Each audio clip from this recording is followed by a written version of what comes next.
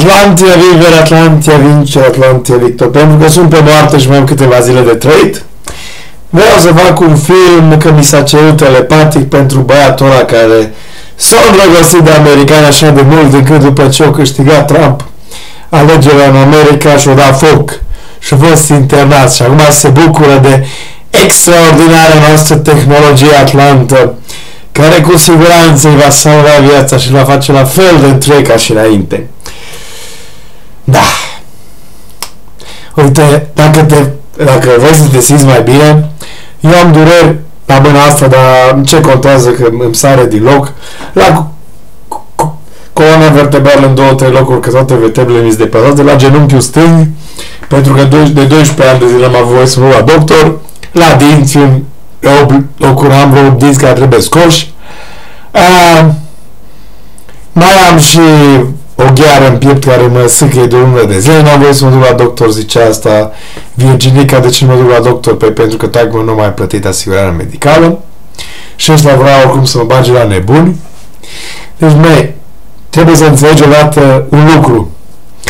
Oamenii pentru care noi am muncit, spunând că lucrăm pentru țara asta și tu mai ești 15 milioane de dolari și urma 13 milioane de dolari, îți fac niște hoți, niște curve, niște criminali și niște scroci. Ei, în consiliul lor, în care mă invita să mă alătur ca să-și bată joc de mine în Cluj, se fură unii pe alții, își fură căciula unul la altul și se întrec în afaceri oneroase și își măsoară puterea și își dau un cap unul la altul, ca la televizor. De aceea am refuzat pentru toată eternitatea să mă bag în consiliul lor.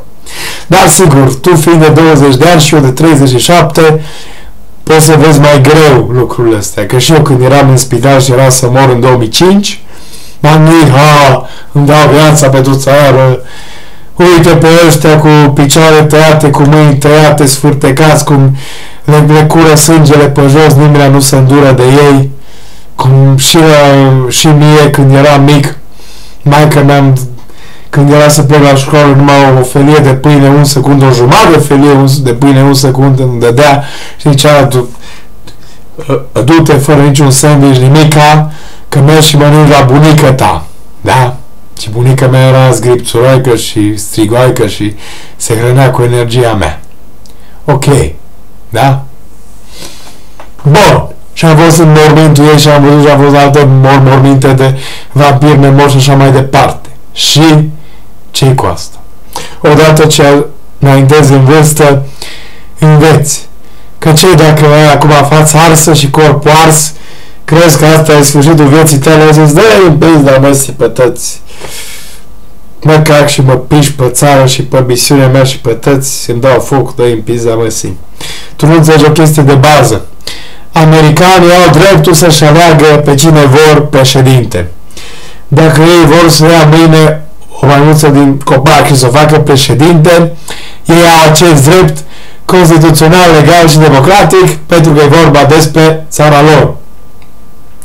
Și acum, ca să se dea cu curul de pământ toți rahații ăștia din servicia secrete care își bat joc de mine, o să le spun, începând cu Adriana de la aia, o să le spun că am aflat din sursele mele, intrând pe site-urile iluminaților, că a fost războiul ăsta planificat încă de 2001, războiul mondial. Și sunt hărți.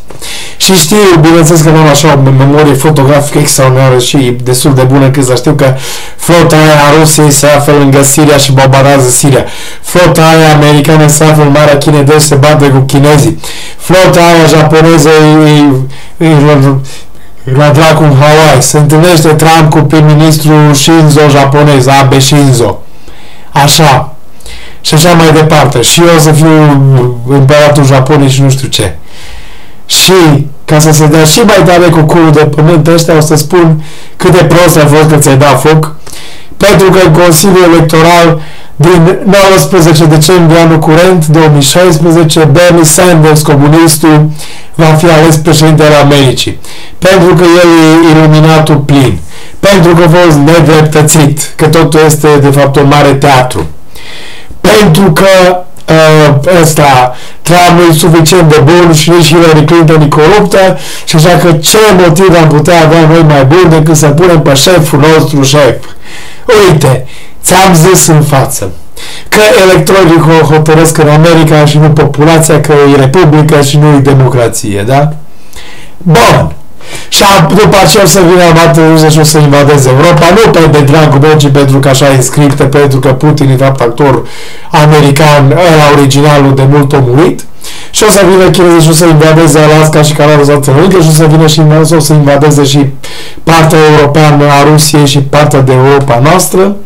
Și o să mai fie și prin Africa, acolo Republica Centrafricană, Africa de Sud, vin islamiști, se bat ăștia la dinspre Sud și o să mai invadeze americanii și America de Sud, că vor oricum de la eh, John Adams încoace și, și generalul Hamilton să cucerească aici cele două Americi și așa mai departe, da? Deci toți ăștia sunt niște hoți, niște criminali, niște curve, cum îi Dacia Severanuș și niște scroci împuțiți și nenorociți. Astea sunt ei. Asta este primul lucru pe care vreau să ți-l spun. După aceea am aflat că tu ai lucrat mai mult într-un an decât eu în 21. Asta mi se pare imposibil.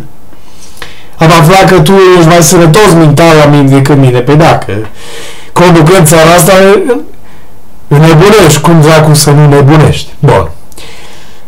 Am aflat că eu sunt nebun și nu o să-mi dea nimeni niciun ban până nu mă bag la nebun și până nu sunt de acord să spun că n-am nicio durere nici la genunchi, nici coloana de tăboală și că numai eu n-am bătut joc de mine, nici nimeni, nici alții nu și-au bătut joc de mine.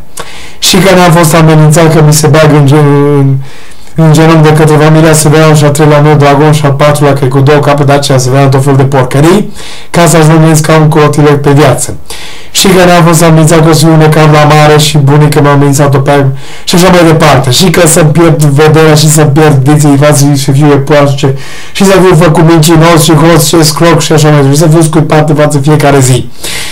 Deci dacă tu crezi că văd că ești ființă de lumină, că ești înger așa ca mine, că tu, că tu, ai suferit mai mult ca mine, ai muncit mai mult ca mine, te înșeli, alarnic.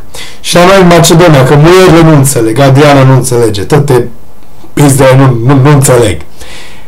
Asta este, asta înseamnă să încurajezi pe cineva să-i spui că ai dureri la fel de mari ca ale lui, că ai suferit și tu, că ai muncit și tu în pizda măsii. Câți camarade s-au murit în brațe pe câmpul de luptă? La câte bătălii ai participat tu? Cât de mult ai muncit? Ai muncit ceva, 2801 zile. Eu am muncit 7817 sau 16, da? Ok, bun. Adio.